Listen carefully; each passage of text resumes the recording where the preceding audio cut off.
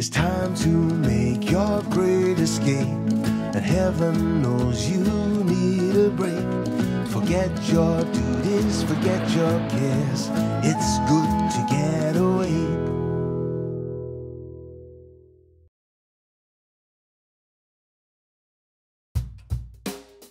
Hey, I'm Rob Pavey, and we're here at the Sibley Mill in Augusta, Georgia. Uh, a lot of people in this town uh, go back and forth to work every day. They'll drive past this place and they think it's just another old empty textile mill, but it's actually a lot more than that. Uh, these bricks, these old red bricks, could talk. They would tell quite a story.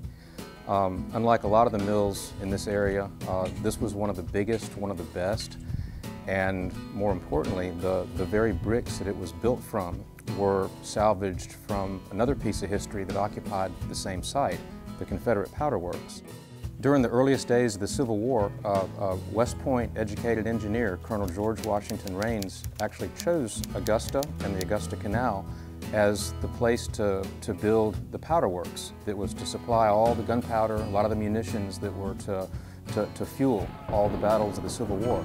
And after the Civil War, um, during Reconstruction, the powder works and the buildings uh, were abandoned and they were demolished, or most of them were demolished. And during Reconstruction, the Augusta Canal was widened. They were trying to make Augusta a bigger center of industry, and uh, along comes the Sibley family that thought this would be a good place to invest in a, in a huge cotton mill.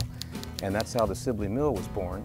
First thing the Sibleys did was they, they bought from the city of Augusta over a half million bricks that were salvaged from the demolished ruins of the powder works. And in 1880, uh, Sibley's daughter Pearl laid the first cornerstone when they started construction, and the objective was to finish it in just a year. A huge complex like this, and, and as it was being built, according to old newspaper stories, it was actually a tourist attraction. There are even photographs, early, early photographs of the, of the mill that were used as postcards because they were so unusual, so unique.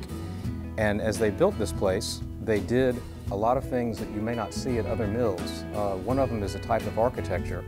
It has these unusual, ornate red brick ridges that you see along the tops, and it almost looks like the parapets of medieval castles.